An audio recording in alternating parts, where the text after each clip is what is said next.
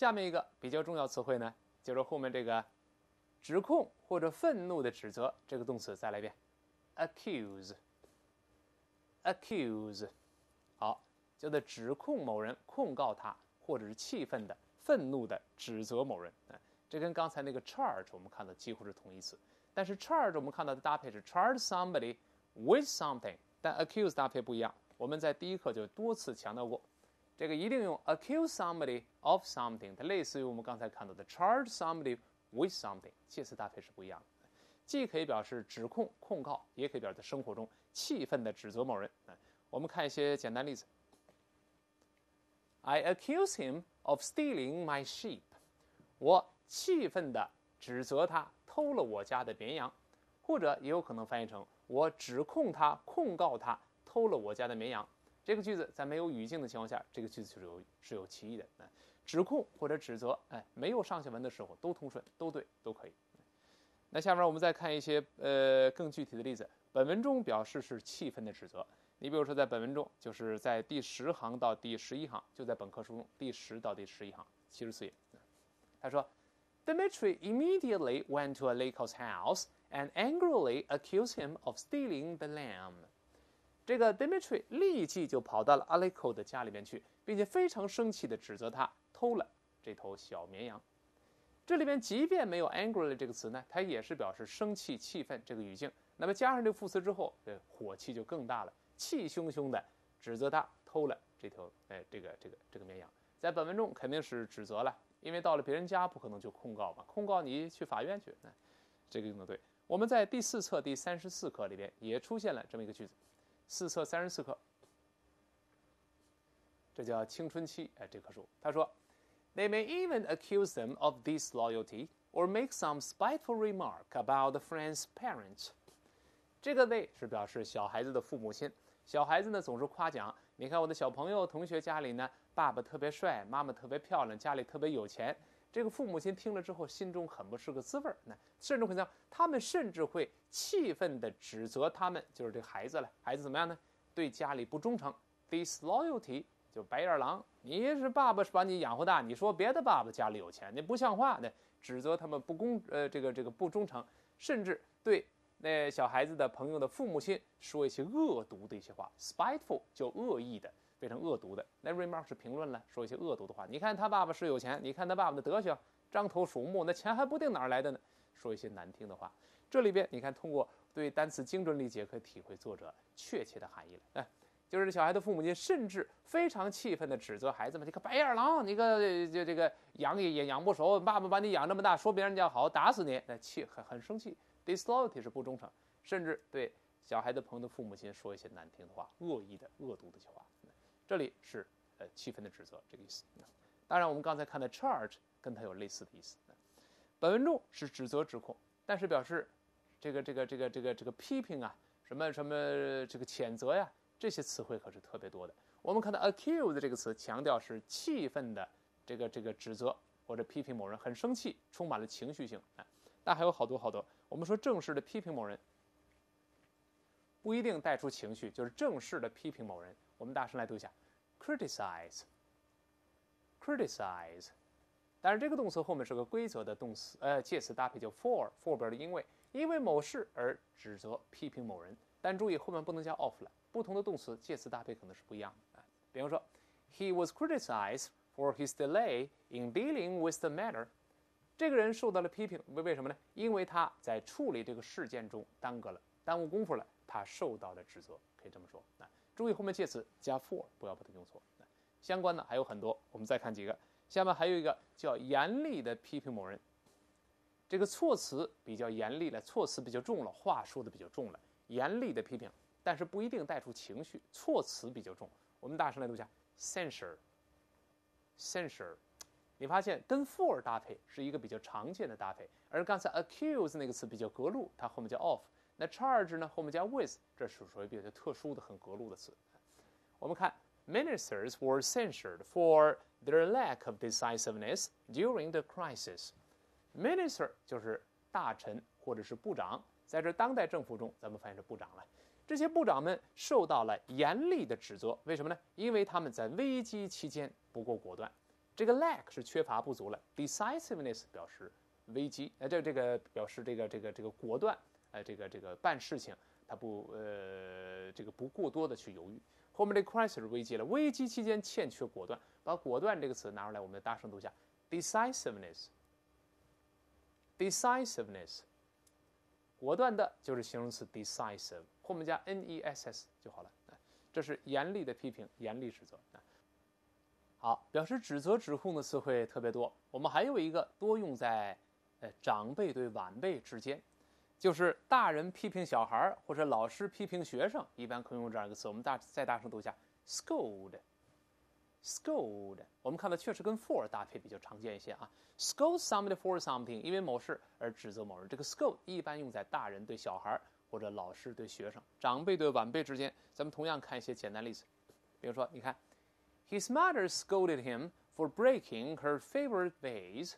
这个他的妈妈怎么样呢？是呃呃，好好批评了他的孩子。为什么呢？因为打碎了妈妈最心爱的花瓶。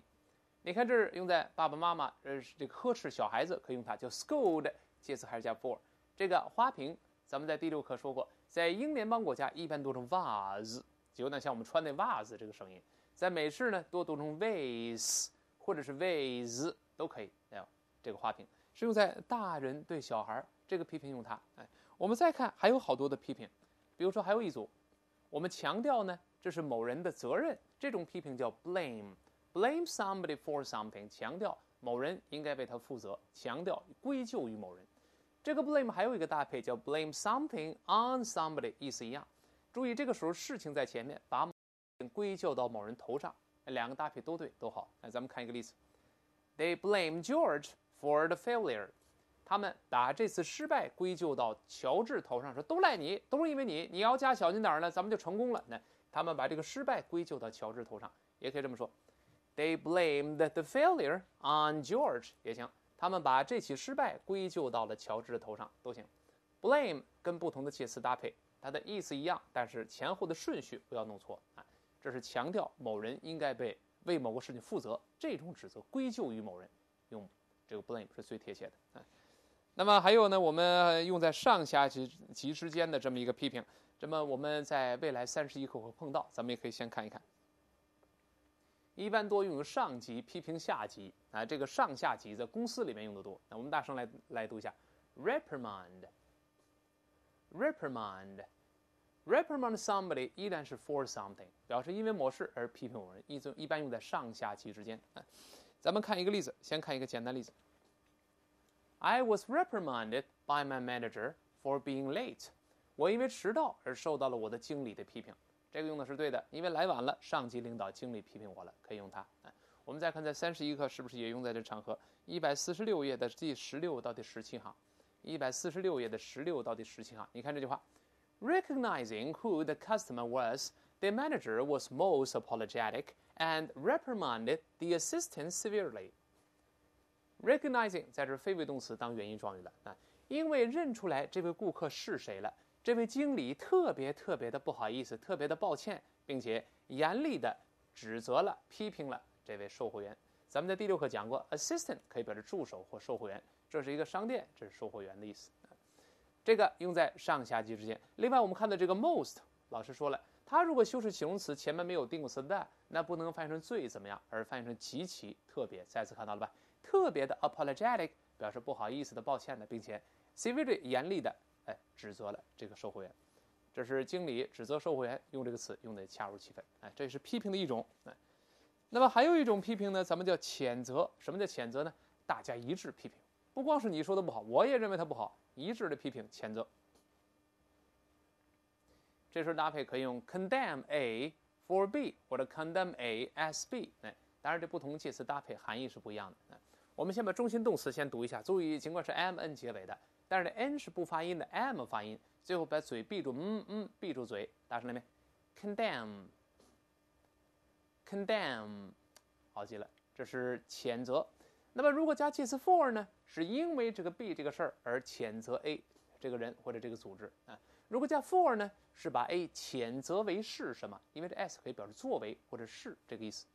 因为指原因还是加 for，谴责为是，咱们加 s 就行了。分别咱们看一个例子，比如说看 The movie was condemned for its sexism。